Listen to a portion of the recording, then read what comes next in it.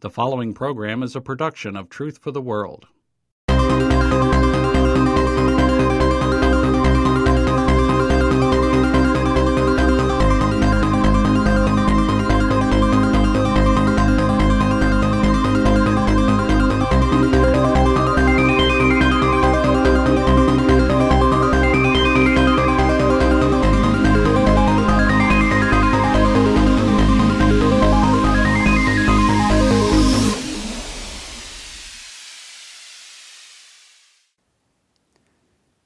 For joining us today on Ask the Expert. We have with us today Dan Cates. Dan is an instructor at the Memphis School of Preaching. He graduated from the Memphis School of Preaching in 1994. Uh, he has a master's degree, uh, biblical studies from Amridge University. Uh, as he teaches at the Memphis School of Preaching, he teaches both English and Greek, as well as uh, some other classes. And uh, today we're going to be discussing uh, the English language, specifically something called Biblegramming. Uh, Dan, can you tell us a little bit what you mean by Biblegramming? Certainly.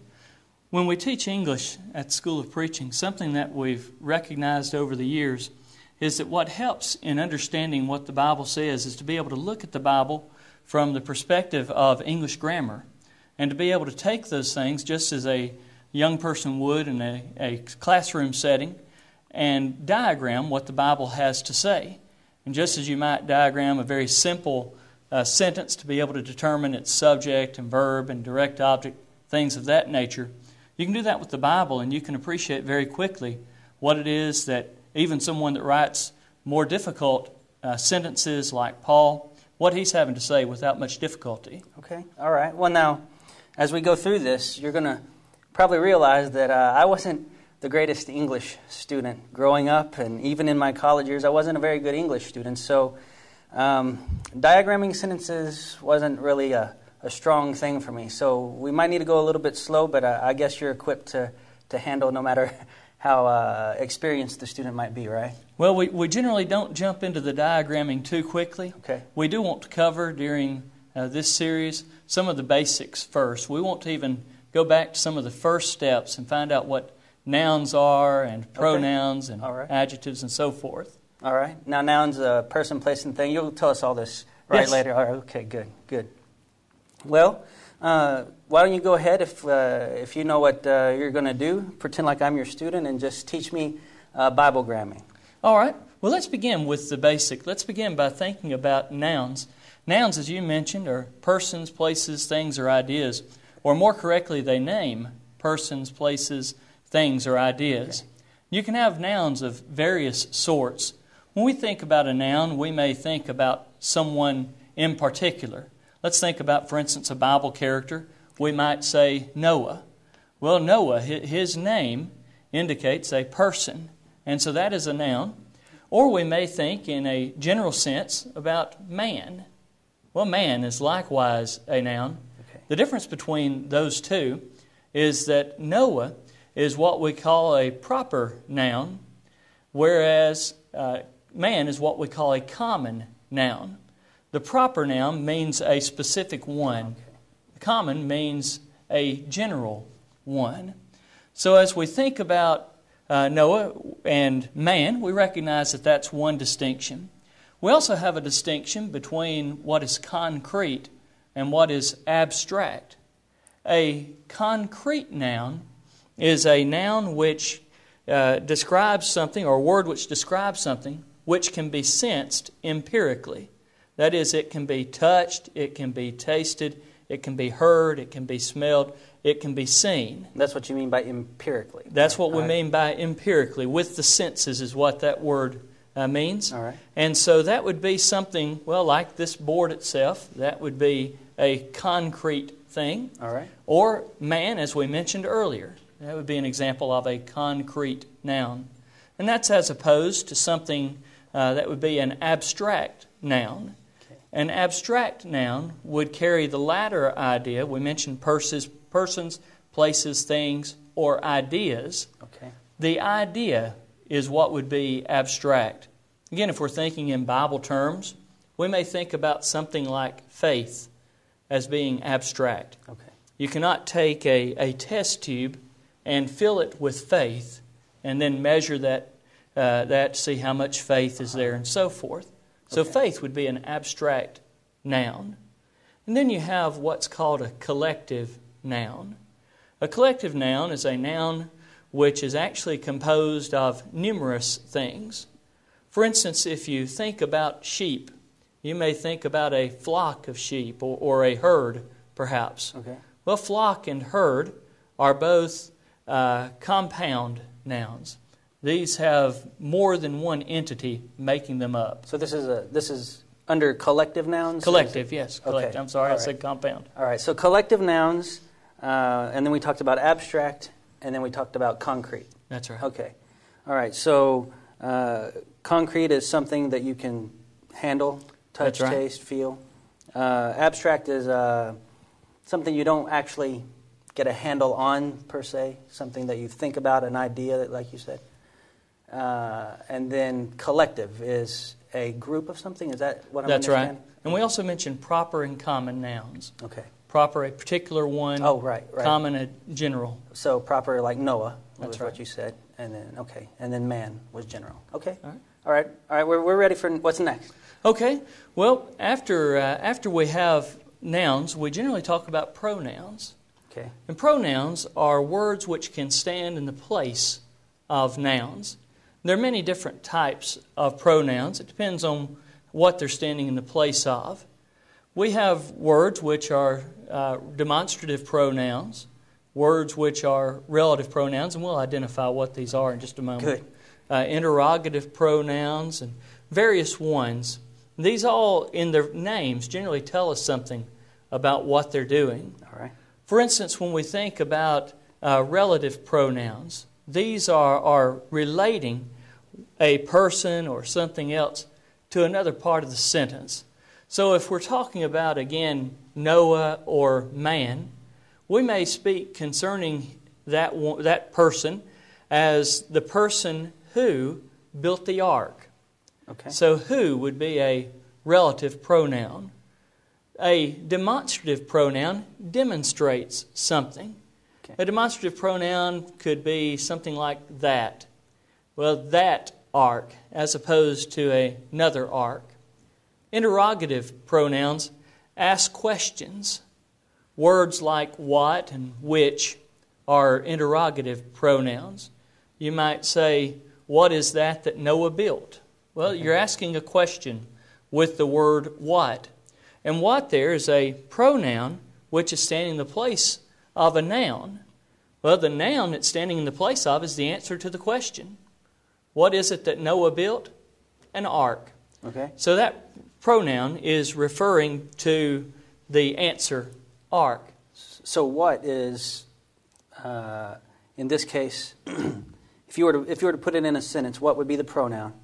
Uh, and I would say to you, what did Noah build? And when you respond the ark, you're you're saying what it was. That's right. I, I'm providing the antecedent for the pronoun. Every pronoun has to have an antecedent.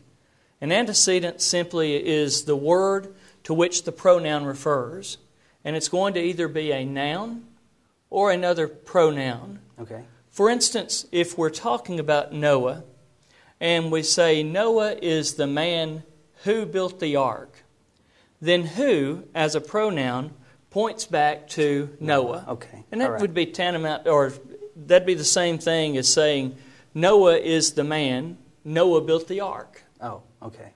So this pronoun refers to this antecedent. Now, I want to clarify something which uh, some have heard along the way, and generally it's the rule. That is that a pronoun refers to its nearest antecedent. Okay. And that's not always the case, because an antecedent can be any noun or pronoun. And sometimes that just does not make any sense whatsoever. Like what? For instance, in Acts chapter uh, in Acts chapter 2 we see that uh, there is the use at the beginning of the chapter of the word "they," Okay. and this has to do with those who were present on the day of Pentecost, on whom the Holy Spirit fell. Many people will say that the "they" there was everyone in Jerusalem Okay. and not uh, the limited group of apostles. But in Acts 2 1, we read, And when the day of Pentecost was fully come, they were all with one accord in one place. Now, that word they could refer to a number of things inside that sentence. Well, what are the nouns which precede they? Well, we see Pentecost. Could the, could the they be referring to Pentecost? Well, when the day of Pentecost was fully come, Pentecosts were all with one accord.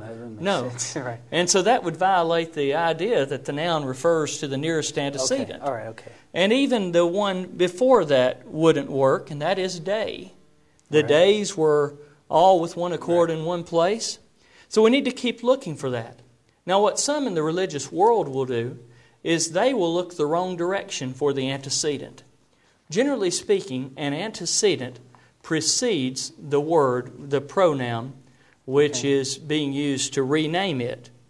And they will look to all those that were present uh, in Jerusalem on the day of Pentecost and say, Those are the they. Well, to do that, they have to go down to verse 5 oh. of chapter 2, where we read, And there were dwelling at Jerusalem Jews. Okay. So who could this they be in verse 1? have to keep going backward. Have to keep going backward. Okay. Okay. We need to remember that in the original, the, when the Bible was being written, there were no chapter and verse subdivisions. Okay. And so chapter 1 and chapter 2 flowed right together. So we see in chapter 2, when the day of Pentecost was fully come, they were all with one accord. That carries us back into the former chapter right. to find out who the they is. Well, the nearest uh, word is apostles. And indeed, okay. these were the apostles who were the ones who were with one accord okay. in one place. So, if I can just stop you a second so I can get this. so, what you're saying is um, your pronoun, if I can just steal yes, this and write on this, your, your pronoun here that we're talking about is the word they, correct? That's right.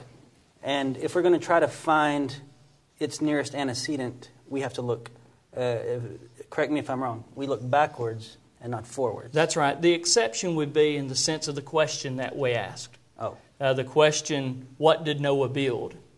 Oh, he I built see. an ark. And well, so the then, ark then would be. Forward. Okay. But generally speaking, you're going to be going backward, not forward. Okay. And so the way that, that we would, ru- ru- would uh, word that is not the pronoun refers to the nearest antecedent, but the pronoun refers to the nearest reasonable uh, antecedent. Okay. And we notice that Right. Uh, Pentecost, Pentecost and day, right. those were not reasonable. Okay. And it also wasn't reasonable to look four verses in the future. Right. So right. we look backward and find the nearest reasonable antecedent, which in Acts 1 26 is apostles. And indeed, the apostles are being spoken of uh, throughout that set of verses. Okay. Okay, good. Well, I think I got that. So, so pronouns, uh, I guess, modify is the word? right? They or they a look pronoun back to really the noun renames renames renames the word. Okay. Now that doesn't mean that that pronouns cannot modify. Okay. Because they can. For instance, if you have a possessive pronoun, uh-huh. you might say, uh, "Whose ark was that?" Okay. And we might say Noah's ark, or we might say his ark. So, what is the difference then? Um, because as you well, I don't. My English is failing me. But what what is the difference between um, renaming and actually uh, modifying? What would be the difference? Okay. Well, if you're renaming something, you are stating it in a different way. If you're modifying it, then what you're doing is describing it. Okay. And, you're indicating some attribute which it possesses. Okay. And so if, if we think about, uh, for instance, Noah and who, let's say that we're, we're so, or Noah and he. If we have he mm-hmm. and we have Noah, this is not giving us more detail about Noah. It's simply renaming okay. Noah. Okay. Whereas if we're talking about the ark, then we're describing the ark as his ark. Well, his, regarding the ark, tells us more about the ark. It tells us that it is Noah's okay. ark. that indicates that it is no one but Noah's Okay. All right. ark. And so that would be the basic difference between renaming something And modifying. and modifying something. Okay.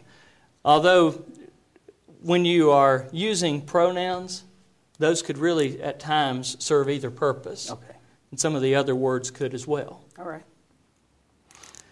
All right. Well, why don't I erase this, and then we we can move on as you uh, as you feel like I can handle. All right. Okay, we, we've seen the basic nouns and pronouns. Now, words which modify nouns and pronouns are words called adjectives. Okay. An adjective, generally speaking, will tell which one, what kind, or how many. Okay. For instance, if we were describing the ark, we could describe it as Noah's ark. That tells us which one. Uh-huh. We know that there was one ark built by Noah. That tells us how many. Okay. And we remember that the ark was made out of gopher wood. And that tells us what kind. We might say it was a gopher wood ark. Okay. So that's what kind. Which one, what kind, how many. If we're looking in Hebrews chapter 11, we find some great examples of uh, adjectives in that particular chapter, as well as some of the other things that we've been discussing. I might mention in Hebrews 11 just a couple of the verses which are found uh, therein. Let's look at verse 7 regarding Noah. By faith, Noah, being warned of God of things not seen as yet, moved with fear, prepared an, an ark to the saving of his house, by the which he condemned the world and became heir of the righteousness which is by faith.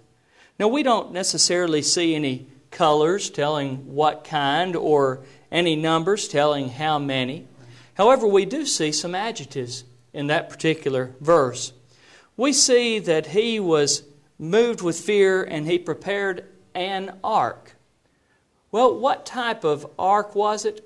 It was an ark. This is what we call an article, but an article is an adjective. The three articles are a, an, and the. All right. What a, an, and the do is they identify whether something is a particular one or whether there are many of something. All right. Now, he built an ark, and we mentioned a minute ago there was one ark. However, there were other things in Scripture called arks. You may remember the Ark of the Covenant. Right. Uh, Moses was placed by his mother in an ark of bulrushes. So he built an ark in a general sense. But we could speak specifically about Noah's ark and say the ark. Okay. And it would, that would limit it to one. So if it had just said he built the ark, that would have been then what Moses was put in was maybe something different from. Uh, That's right. It- as his specific. His ark, was right? another kind of ark. Okay. And so it could say uh, Moses built the ark of gopher wood Okay. or something along that line. Okay. And that's the difference between what we call a definite article and an indefinite article. A definite article defines one, the, Okay. and an indefinite article is used for any, a, or an. If we look further into that verse, we do see the definite article coming into play. Prepared an ark uh, to the the saving of his house. Which saving? The saving. Okay. So there we have the definite article, Very specific. very specific. And we also see by the which. Okay, in that manner, there was only one way by the which he condemned the world, the one world, and became heir of the righteousness. There was one righteousness, which is by faith. So we see several of these articles Right. used in that verse. But we also see in that verse a pronoun being used as an adjective. That's the pronoun his. He was preparing this ark to the saving of his house. He was not preparing this ark to the saving of his neighbor's house. He was not preparing this ark to the saving of some stranger's house. He was preparing this ark to the saving of his house. No other house would be saved by that ark. Well, now, if so that I can understand maybe what you're saying is, uh, because when I've read the story of Noah, you know, we we've often heard it said he was supposed to save the world with his ark, right? So you're not you're not actually just saying everyone should have built an ark. He was only responsible for his house, right? Is that what you're saying? Or well, his house came into the ark. Right. We know that others had the option to be able to go with Noah. He preached to them for a great period, okay. trying to warn them concerning the uh, concerning the devastation okay. which was to come, and yet they ignored that warning. So it ultimately was to the saving of uh, his house. So, writing uh, retrospectively after the flood, he could then say it was only for the saving of his house because that's all that would obey, right? Is that's that... all that obeyed. Okay. Now, did others have the opportunity? Sure, they okay. did. All right. But that helps us to appreciate that there is one location of the saved. That's true. In, in Noah's day, if you were not in the ark, you were not saved. Right. Who was in the ark? His house. Today, there is a location of the saved. The Bible speaks concerning one church. Right. Well, one location has often been the place of salvation in Scripture. We see that in Noah's case, we see that in the New Testament. During the days of the plagues, you right. may remember that the tenth plague, the death of the firstborn, that death of the firstborn took place on any house which was not marked by the sign of the blood on the doorposts and the top of the door. Okay. So there was a location and so of I guess, salvation. I guess later as we get through and do some more of this um, Biblegramming, I, I, guess we will see a little more clearly uh, some of these things. Uh, like you said, just like Noah's Ark was the only place salvation was offered at that point in time. Uh, today you just said that the church is the only place salvation. And I guess we'll see some of those verses. We will see later. some of those verses. Okay, all right. Certainly will. But there we have the, the nouns, pronouns, and the adjectives and how they relate to each other. Now, those we, we might sort of loop into one category. Just th- those have to do with things and describing things. Then we get into another category, and that is category of verbs.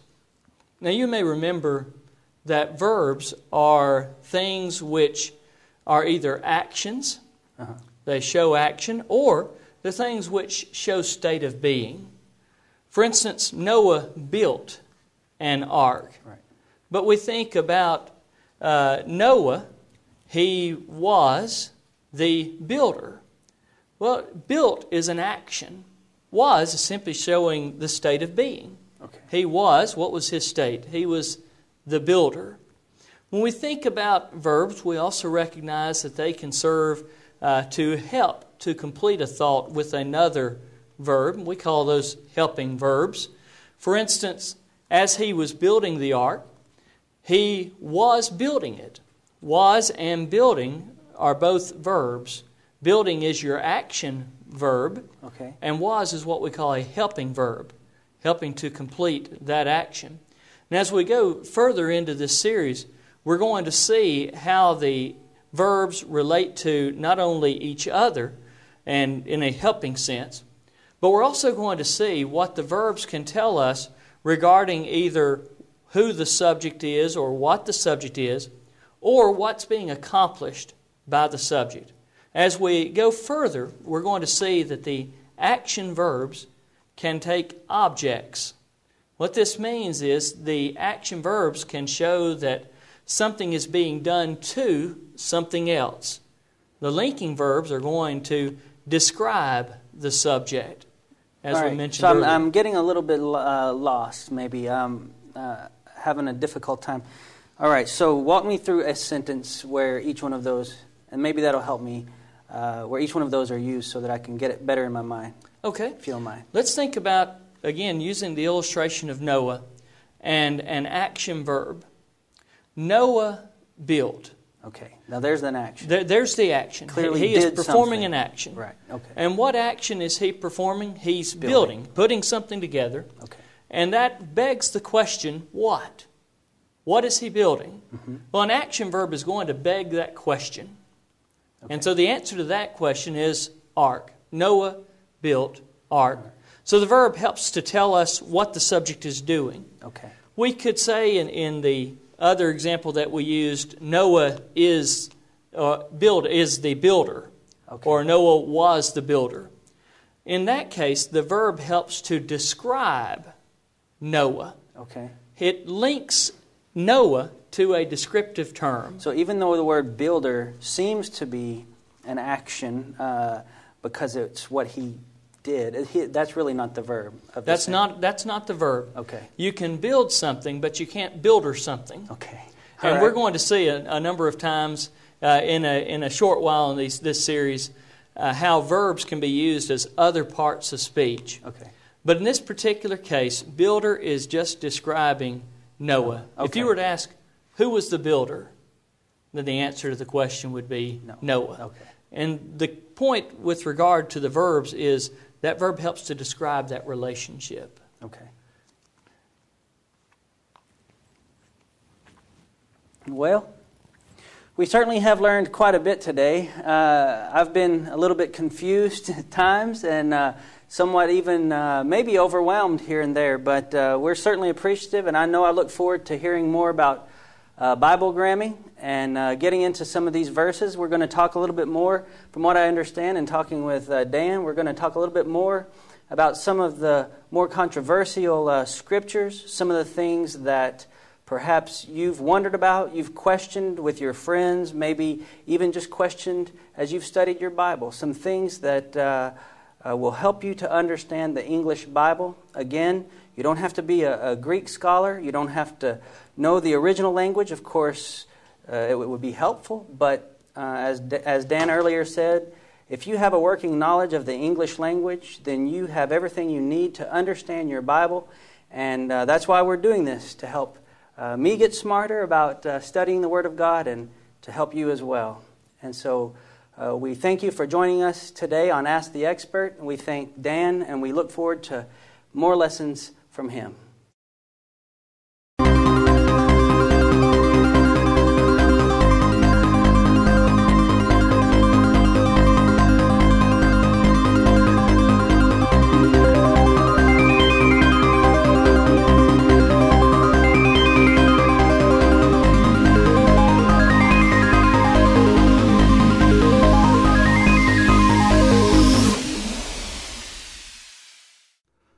Would like to learn more about God's Word with a free Bible correspondence course, then write us at Truth for the World, P.O. Box 5048, Duluth, Georgia 30096, the United States of America, or visit us online at tftw.org.